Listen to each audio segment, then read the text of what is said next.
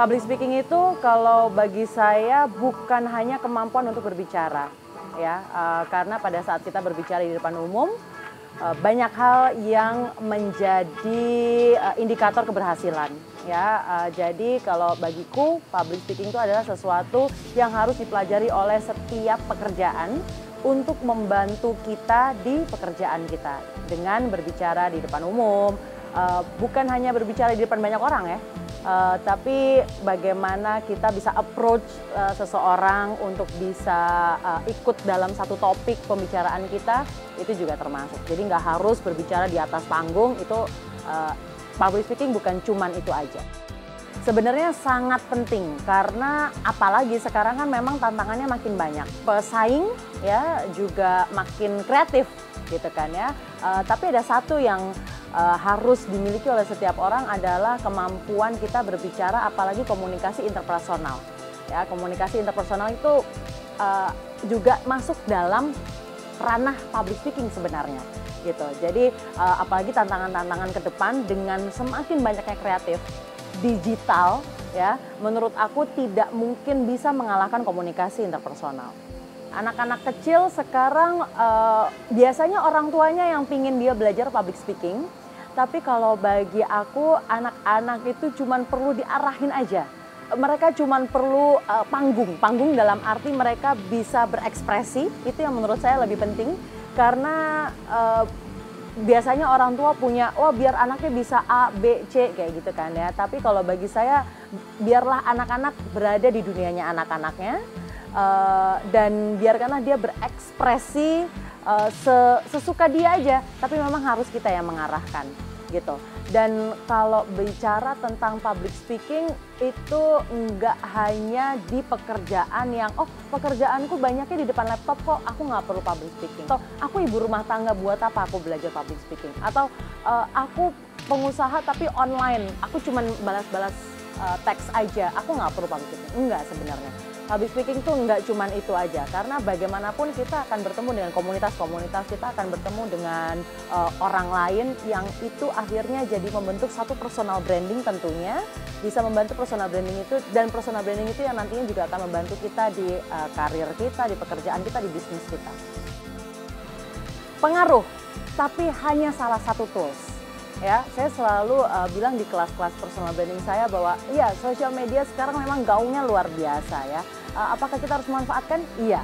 Uh, apakah itu satu-satunya cara? Enggak, gitu. Jadi uh, sosial media itu adalah salah satu tools. Jadi jangan terjebak karena yang terjadi sekarang adalah euforia penggunaan sosial media yang begitu luar biasa dan akhirnya mereka terjebak hidup dalam sosial media, gitu. Uh, dan akhirnya mereka mati-matian untuk membentuk suatu uh, uh, personal branding yang sebenarnya itu bukan personal branding dia jadi uh, personal branding is everything ya. Dalam arti bukan hanya yang ada di social media. Dan kalau misalnya kita berbicara tentang social media, kita harus jujur loh uh, di social media. Uh, karena orang akan ngerti apakah itu akan inline dengan kehidupan kita.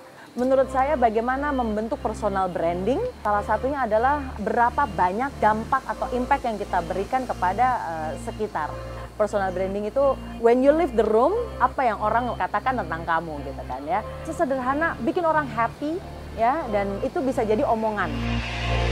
Pada saat kita bicara personal branding banyak yang akhirnya berbicara tentang how you look ya bagaimana kita uh, penampilan kita memang penting tapi uh, yang lebih penting adalah karya dan apa dampaknya bagi orang lain kapan dibilang bagus sih menurut saya pada saat itu memberikan dampak yang bagus ya ke orang-orang. Pada saat kamu datang dan uh, you make everybody happy pada saat itu nggak keganggu dengan kehadiran kamu, um, itu itu salah satu uh, good things loh gitu kan. Dan setiap orang punya personal branding yang uh, yang yang beda juga ya. Ada uh, memang ada orang yang dengan personal branding kalau ada dia pasti rame. Ada uh, oh kalau ada dia ini pasti ngomongnya serius. Wah ini orangnya seru banget. Oh ini orangnya kritis banget. Bisa kan kayak gitu. Uh, and it's fine. Uh, dan menurut saya menghargai perbedaan uh, itu menjadi satu kunci pada saat kita berada di uh, lingkungan dengan misi tiap orang yang berbeda juga. Tahu apa yang dicintainya, tahu apa yang uh, do what you love and love what you do. Kita selalu dengar itu ya. Tahu apa yang membuat dia passionate about Kalau kita bicara tentang itu uh, pasti nggak akan jauh tentang passion. Tapi banyak sekarang banyak obrolan tentang passion ya. Uh, menurut saya yang agak ada miss adalah pada saat we do something, terus habis itu ada kendala, susah, terus orang I think it's not my passion. Ya kan banyak orang kayak gitu. Uh, menurut saya enggak sih.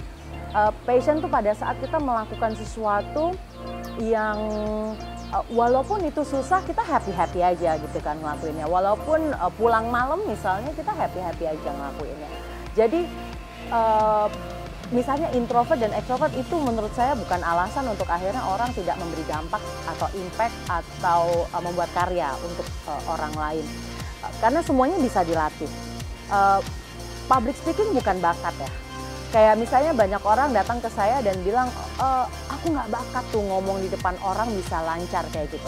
It's not a gift. Ini tuh adalah skill yang bisa dilatih gitu. Begitu juga dengan personal branding.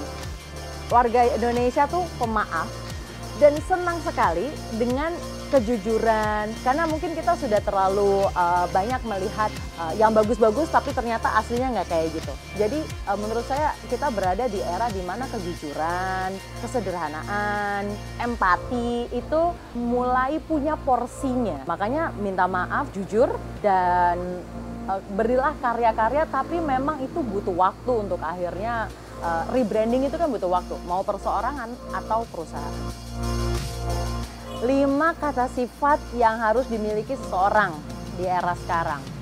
Jujur, tulus, murah senyum, rajin. Ya, rajin tuh nantinya bisa menghasilkan karya, uh, bisa memberikan dampak bagi orang lain, ramah. Karena uh, kita orang Indonesia ya, dan Indonesia sangat terkenal dengan ramahnya. Uh, dan siapa yang nggak seneng sama orang ramah? Saya Nesa Gozal, praktisi public speaking dan personal branding. Berkaryalah dengan tulus sehingga orang lain bisa melihat value kita tanpa kita harus beritahu.